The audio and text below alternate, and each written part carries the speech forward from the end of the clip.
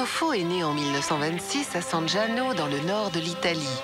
Après des études de peinture et d'architecture, il fait ses débuts sur les planches en 1952. Il connaît la consécration internationale dès 1960 avec Gli Arcangeli non giocano a flipper. Les archanges ne jouent pas au flipper. Par la suite, ces pièces satiriques heurtent de plus en plus souvent l'État et l'Église. Lors de la cérémonie de remise du prix à Stockholm, l'Académie suédoise a rendu hommage à cet auteur qui a perpétué la tradition des saltimbanques du Moyen Âge, fustigeant les puissants et rendant leur dignité aux humbles.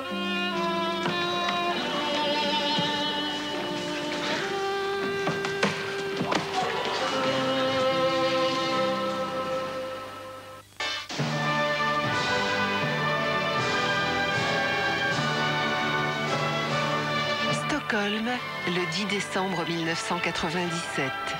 En présence du couple royal, Carl Gustave et Sylvia, les différents prix Nobel sont remis aux lauréats. Le prix Nobel de littérature va être remis par l'Académie suédoise à Dario Fo, dramaturge italien âgé de 71 ans. Monsieur Faux, le mot dignité joue un rôle très important dans votre œuvre littéraire et il est au cœur de votre pièce Nascita del Giulare. Bien que la dignité qui vous est conférée aujourd'hui ait un sens plus large, la substance est la même. Au nom de l'Académie suédoise, je vous félicite pour l'œuvre qui vous a valu le prix Nobel de littérature 1997.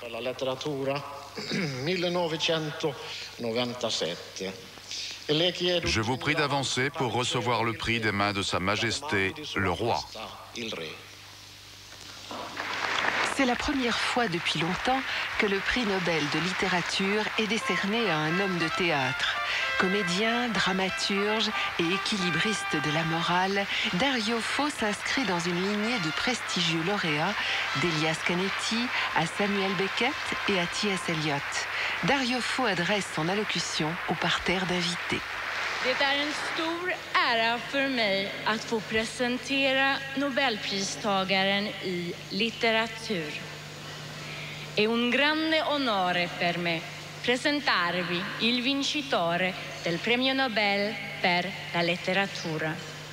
J'ai le grand honneur de vous présenter le lauréat du prix Nobel de littérature.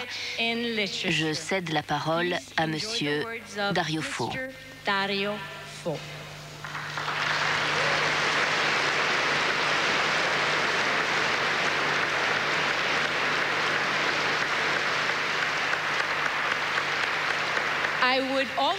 Je vous présente également l'ambassadrice russe Jacobi qui traduira son discours.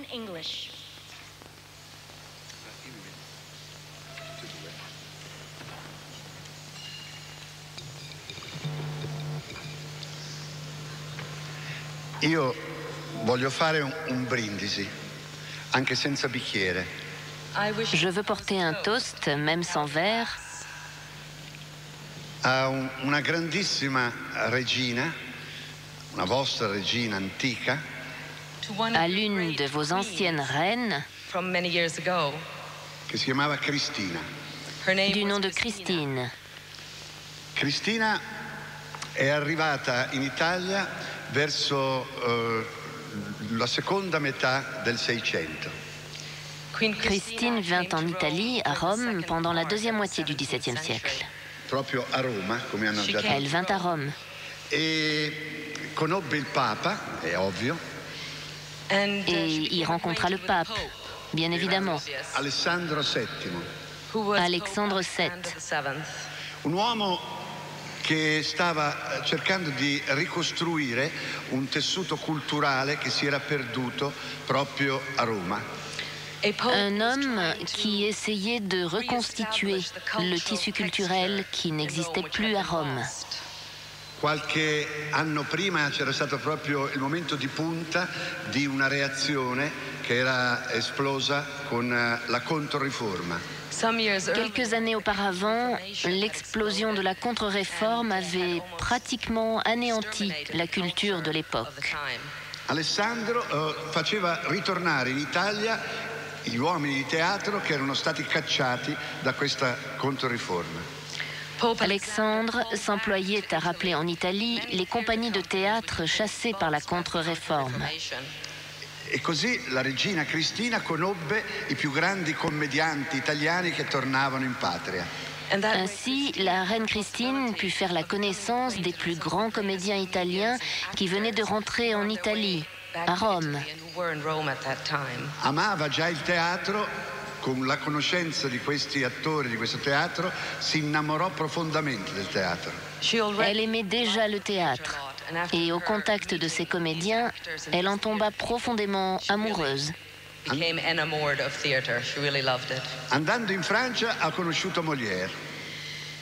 Puis en France, elle rencontra Molière. Ha cominciato ad avere delle comunicazioni con lui quando è tornata in Italia.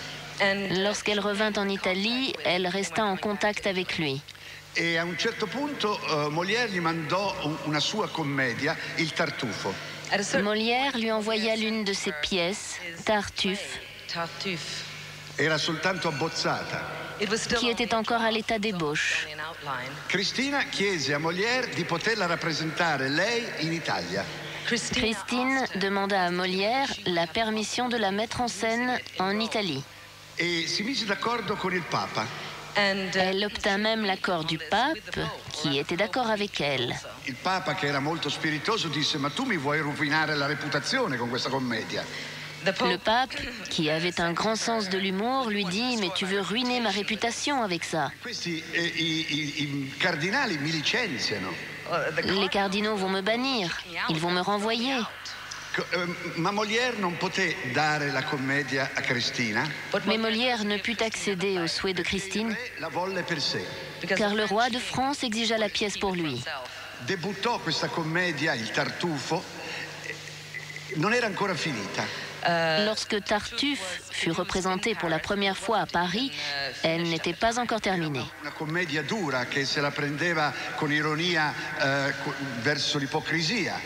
C'était une comédie acerbe qui s'attaquait à l'hypocrisie avec beaucoup d'ironie,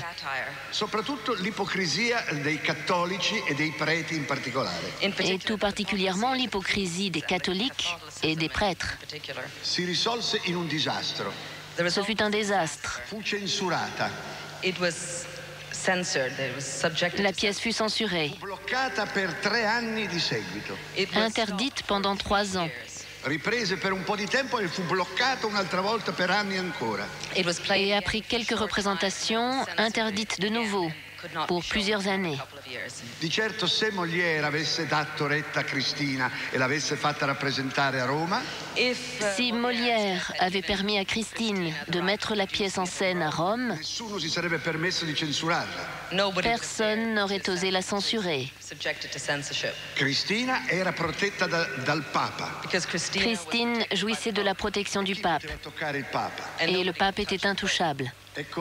Io chiedo a voi, eh, Regina, alle principesse che sono questa sera, se amate il teatro, sostenete come Cristina sosteneva il teatro. Et je vous le demande à vous, reines et princesses qui êtes ici ce soir, si vous aimez le théâtre, défendez-le comme le défendait Christine. Hai già finito la battuta? Eh? Mi, ha, mi ha br- bruciato la battuta. Ah, Non ancora, non ancora, meglio, meglio, meglio, meglio. Dicevo che soprattutto quando è un teatro ironico, grottesco, dovete difenderlo. Lorsqu'il s'agit d'un théâtre burlesque, ironique, il faut le défendre. Perché il teatro del ridere è il teatro della civiltà. Car le théâtre du rire est le théâtre de la civilisation. E se avete delle preoccupazioni, Et si vous avez des soucis, appoggiatevi al Papa. faites appel au pape. Riuscirete senz'altro bene. Vous réussirez à tous les coups. E viva Cristina! Viva Cristina.